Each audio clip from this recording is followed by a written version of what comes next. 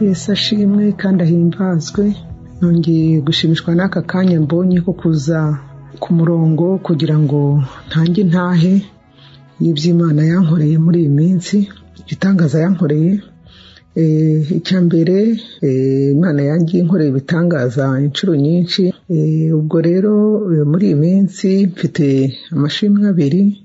Muri kwezi kwa cumi n'abiri k'umwaka ushize nakoze impanuka y'imodoka imana irandinda mvamo undi muzima ubwo ndagira ngo dushime imana.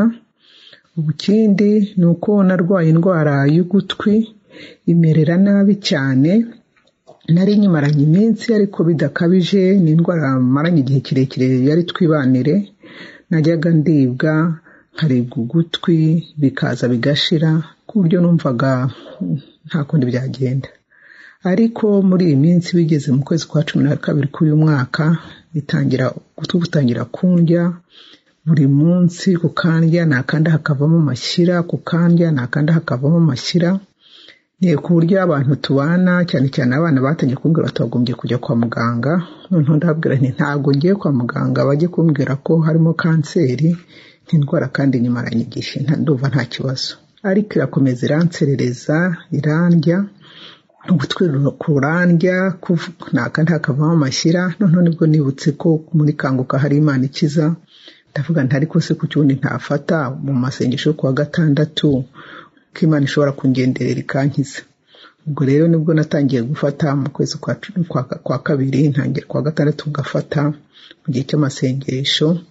Bigeze kwa gatandatu tariki ya cumi n'icyenda ni bwo mu gihe cy'amasengesho umukozi w'imana yavuze ati umuntu urwaye ugutwi kuvamo amashyira nashima imana kuko iramukijije. Nanjye ndavuga ntubone inge ndacakira ntishima amana nanjye ndakize urampukijije nshima amana urankijije ndacakira ndacakira ntubone inge rwose ugutwi kwanjye kugombe gukire.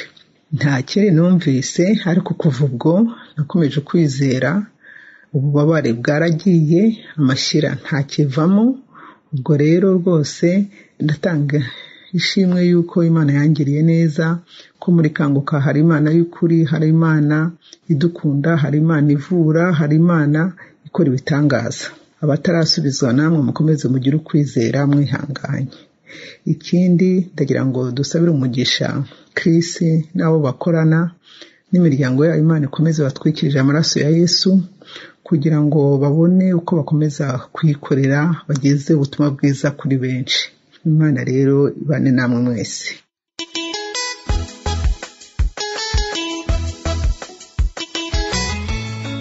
Shalom shalom. Yesu nashimwe.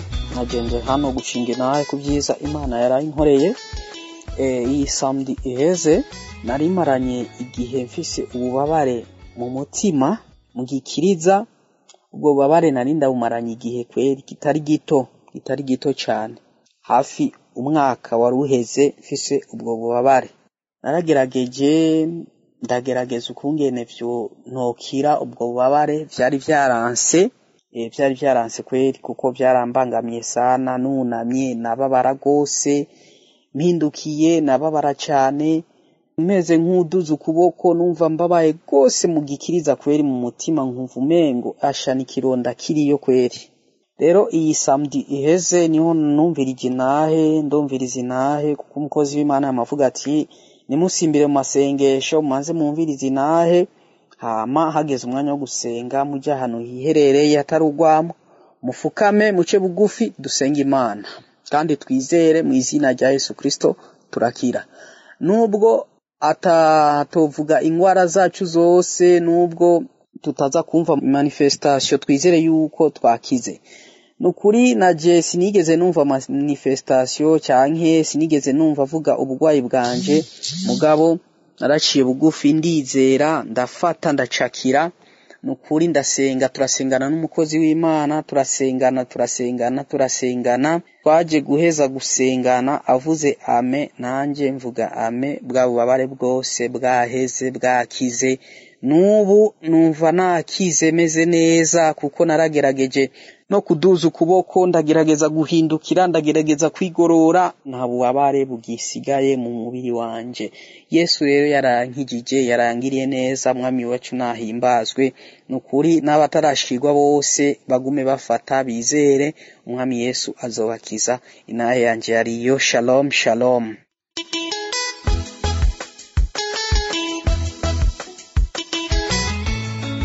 Shalom shalom. Bwa mbere mbanje kubaramutsa mu izina ry'umwami wacu kirisito nanje nje gutanga intahe y'ibyiza imana yangiriye. Jewe ndi umwigeme naje guhura n'ingorane yo kutaja. Mu mihango mu mwaka w'ibihumbi bibiri na cumi n'icyenda naragumye ngaho kubera sinari bwumve kanguka nta hantu hamwe nari bwayumve nta muntu n'umwe nari bwayumvane. Ego naragumye ngaho ndaguma ngaho mbona ukwezi kwa mbere kuraheze ukwa kabiri kuraheze ukwa gatatu kuraheze n'ukwa kane n'ukwa gatanu mpaka mbona umwaka wose uraheze atana kimwe nabwiye kubona.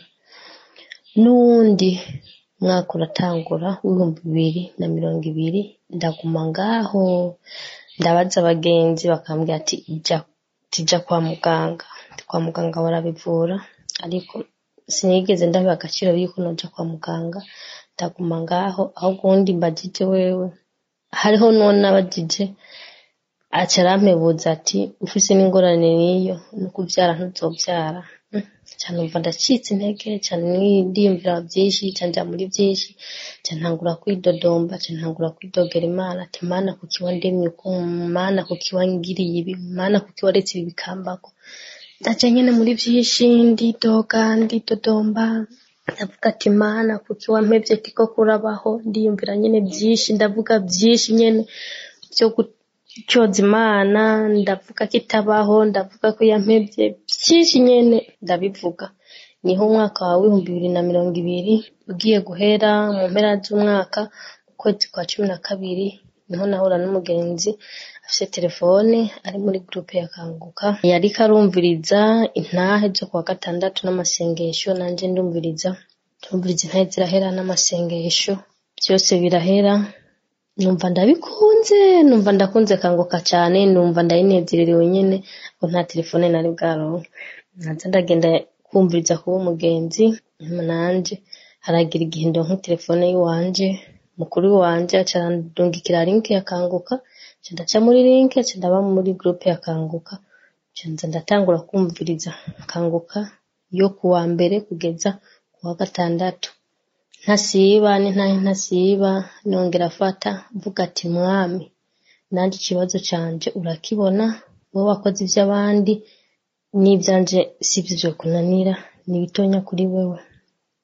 Ndaguma ngaho nza ndafata ariko narumvise ikivugo cya kanguka narahindutse bimwe byo kwidodomba byo kugira iki byari byaheze muri jewe ariko ndafata ukwezi kwa mbere mbona ntakivuyemo yaravuga ati hageze mu masengesho umwe wese afata aho ababara utazi aho ababara afate ku mutima.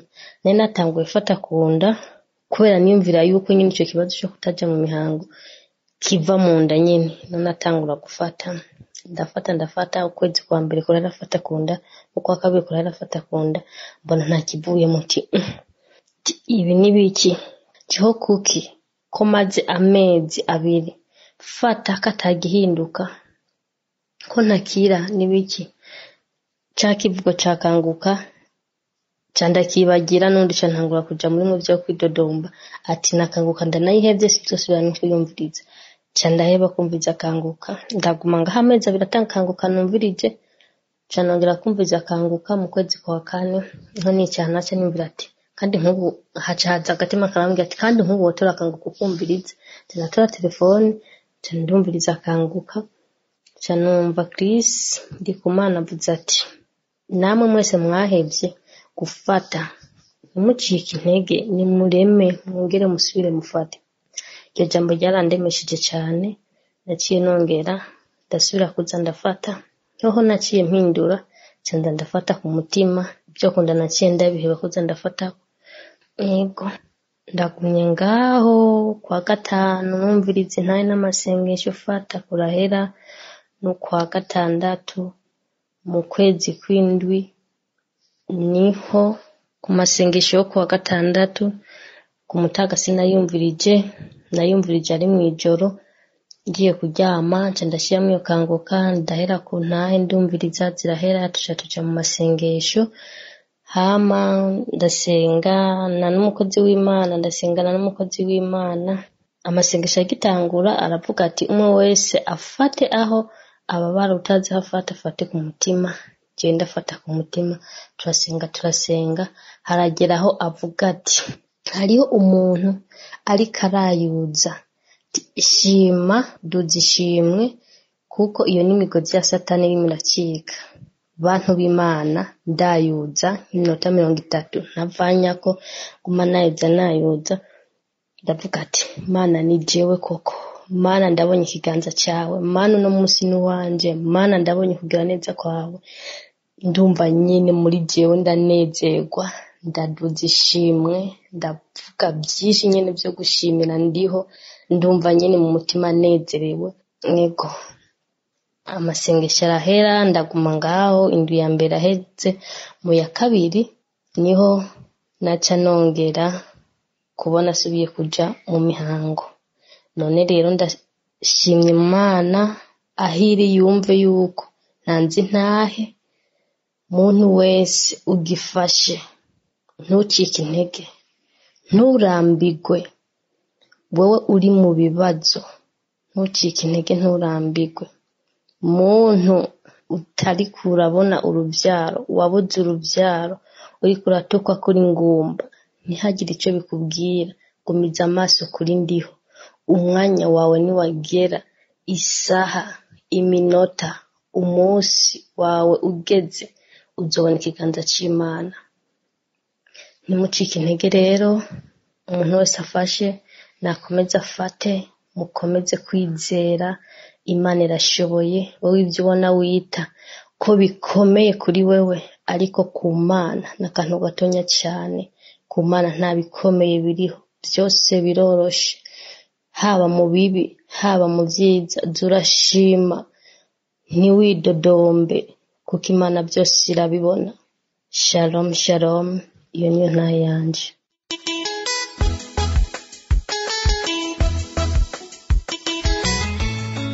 Shalome shalome z'imana nabo mwese mugize umugabo akanguka banje kubaramutsa ndabamwiriwe na mwaramutse bivanye n'aho muherereye. Nanjye mpagaze ngaha agomba gushingira intahe ndiho kubyiza ndiho yankoreye. Ubw'ibyo mbanje gusaba imbabazi kuba narateze gushinga intahe. Bene data reka ndababwire gushinga intahe si ikintu coroshe si ikintu coroshe na gato ni intambara umuntu agwana mu mubiri satani ntiyakunze ko ntanga intahe byihuta kuko nari nasezeraniye imana imaze kungura mu butayu ndimwo ko nzobishingira intahe ariko satani yaramboshe ku buryo ntashoka nshinga intahe hageze aho notora telefone ngo mvuge ibyiza ndiho yankoreye hagaca haza ibindi bindi nta nsanzwe ndi mu bigo by'abarabu jewe narahuye n'ikibazo ndagwara ndagwara igiti cy'umugongo bene data igiti cy'umugongo hikazamo umuriro umuriro ugashwara mu nda hose mu mbavu. Bene data kuba nkomeye umutwe nkakomera amaguru nkakomera ibihimba byose mugabo nkabura amahoro mu gihimba cy'ikiyunguyungu no mu nda. Bene data ntibyari byoroshye cyane. Yari intambara narwanye ndasenga ndasenga ndasenga ndasenga ndasenga. Niheza imana bene data abantu we mwese mufise ibibazo bitandukanye no kwiyegereza. Ndiho ko nakinanira imana. Narasenze asengana n'umukozi w'imana. Narumvirije kanguka nyinshi zo muri arishive zaheze nshashika ku ntahe yo w'itariki cumi na zibiri y'umupapa yashinze ntavuga ko yari arwaye nk'uko nari ngwaye ibimenyetso yavuze n'ibyo nanjye nari mfise. Nza nanje ukwizera kurabonetse. Ndavuga mana wakijije uyu mupapa yari arwaye nk'uku. Kandi ukuntu yavuze nanje ariko numva ameze sindaje kwa muganga ngo nipimishe hepatite birashika akaba ari hepatite mana ni we uri muganga mukuru. Ntakikunanira n'abaganga ibyo bakora byose babikoreshwa nawe. Data wera ndaguhereje ubugingo bwanje. Nda- ndasenga nyene bikomeye ndavuga mana niwankize umuriro w'igiti c'umugongo nzogushimira nzogushingira intahe nzokuvuga mu mahanga yose. Ndiyegereza ndiho ndasenga. Eka ndumva neza yuko ubutabarwa ntegerezwa kuzokuronka kuko nta kinanira imana kubivanye n'intahe numvise z'abantu benshi. Navuze ati nanje aha ndi mu bazotabarwa ni ho rero numva izindi kanguka ikurikira umukozi w'imana arasenga arasenga arasenga aravuga ati hari abantu barwaye umugongo barwaye igiti cy'umugongo nyine aravuga arasenga nyine aradusengera. Nja ndafata ndakira ndafata ndakira amusozi bene data arakoroka bene data ndarira ndarira navuga mana ndatabawe ni jewe igihe canje kirageze nyene ndasenga ndasenga n'umukozi w'imana bene data ibitangaza byabaye narakize narakize narakize narakize narakize ugukira kwanje manifestation yanje yabonetse kwabaye ukudira sinamenye amarira yanje akotsama nararize numva ikintu kiri ku mutima cari ku mutima umenga kiratekutse numva umenga n'umuntu ambohoye ku mutima umenga n'umuntu andemuruye uko amarira yaba menshi niko numva ikintu cari ku mutima wanje catekuruka kigatekuruka kigatekuruka bene data ni ukuri ukuntu byagenze kuva ico gihe. Ayo marira yanje yajanye n'ico giti c'umugongo. Ayo marira yanje yajanye n'iyo ngwara yo mu gikiriza. Ayo marira narize mana utabara uburyo bwinshi utabara impande zose kandi zitandukanye. Ndagushimiye kuva nkuye mu butayu ndagushimiye kuva nkuye mu kangaratete ndagushimiye ndiho ni wewe se w'imfubyi ni we umugabo w'abapfakazi warambaye hafi. Ndumva umenga noguma mvuga ibyiza imana yankoreye. Hari ibintu byinshi imana yankoreye. Sharome sharome ndashimiye kristi ndi ku mwana n'umuryango we wose na parteneri bose bakorana. Ndashimiye abashinga intahe bose baraduha kuremeshwa. Ndashimiye cyane abantu mwese mufata mugongo umu- umugambi wakanguka ndiho abane namwe. Sharome sharome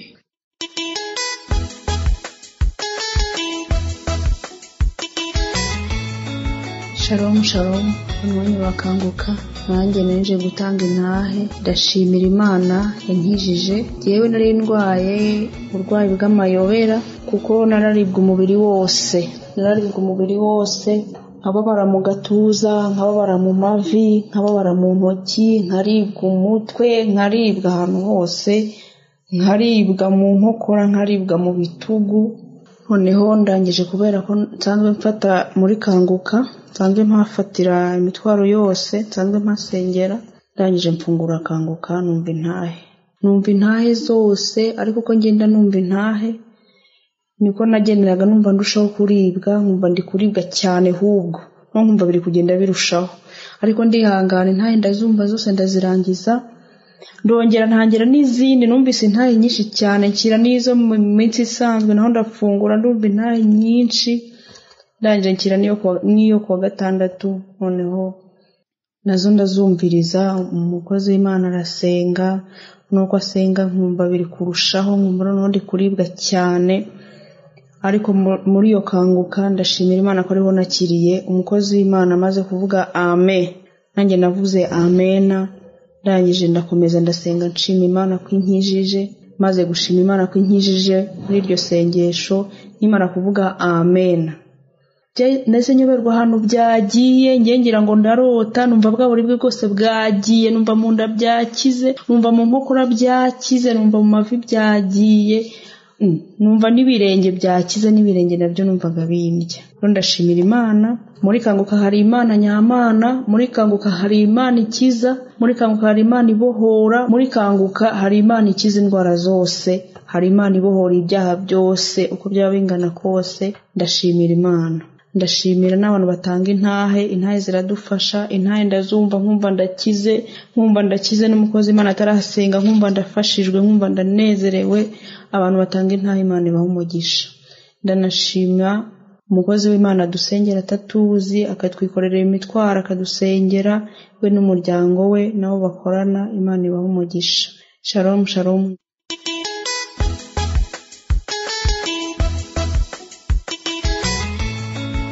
sharome sharome mwaramutse canke mwiriwe bivanye n'umwe umwe wese aho aherereye. Nashaka gushinga intahe ku vyo imana yankoreye. Nari ngwaye nari ndushe nari ndemerewe. Iyo ngwara yamfashe ndavyimba amaguru yose. Maze kuvyimba amaguru yose ndaja kwa muganga barampa imiti. Birananirana. Ndasubirayo ndivuza biranka.